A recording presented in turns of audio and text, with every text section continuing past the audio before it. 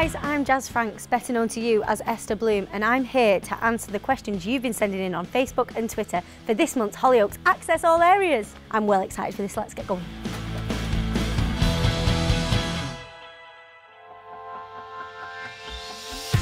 Oh, the best thing about being in Hollyoaks is every single day is different. One day you're crying, next day you're laughing, next day you're giving birth. It's totally different, no day's the same, so you never ever get bored. Oh, Courtney, good question. I'd like to think I was a lot like Esther because she's so chilled out. She's always the nice one. She always sorts out everyone's problems. And I like to think I'm a bit of a shoulder to cry on. I think I'm a bit more wild than Esther, but I'd like to think I am. So, something you might not know, Esther's Magic Bean has a balcony. It's like a sun trap up here. And between you and me, some of the cast members like to come up here and catch some rays. Here we are in Trevor and Grace's flat. It's a lot darker than the Osbournes.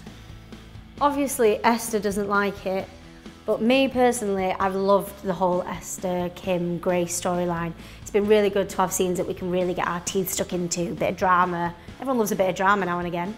I know that Esther is quite a forgiving character, but I think on this one, she shouldn't and probably won't forgive Kim if she ever finds that out. And now there's a baby involved, which is something that's really important to Esther, so it's totally complicated the relationship.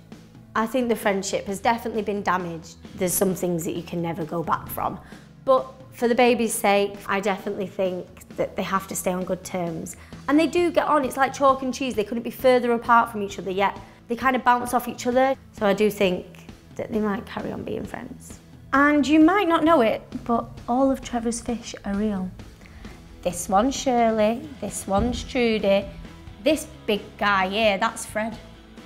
I think it's so much easier kissing girls than it is boys, for me personally, because I'm straight. I find it that I'm kissing my mate on set, it's all right. Daisy's quite a good kisser as well, so it's not too bad. Battle of the Twisted. It's a good phrase, isn't it? I like that saying. Um, from Esther's point of view, Kim, because everything's happening to her, but I definitely think Sienna, I mean, she locked Tom in a cellar, you can't come back from that, can you? My favourite storyline was definitely the bullying storyline. I think it was the most hard-hitting and something I could really get my teeth into, and I really enjoyed it.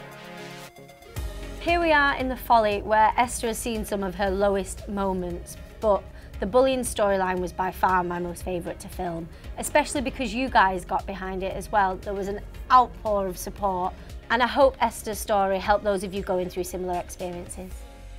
My first reaction was, am I going to be able to pull this off? Like, it's a massive thing. I need to do it justice. And I was so scared that I wasn't going to be able to portray the same emotions and the same feelings as what people who are being bullied go through. So I hope I did it justice, guys.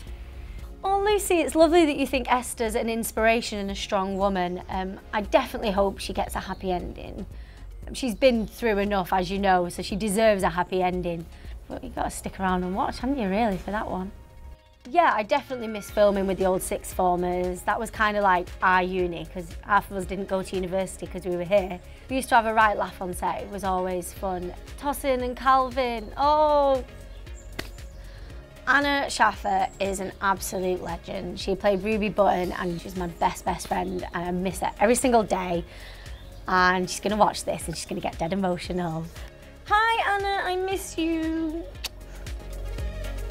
Well, it's the people that you work with, really, we always have a laugh. Um, Daisy makes me howl, Daisy plays Kim. I love being with the Osbournes, there's always so much going on. I always have a laugh, it's always fun, laugh with everyone.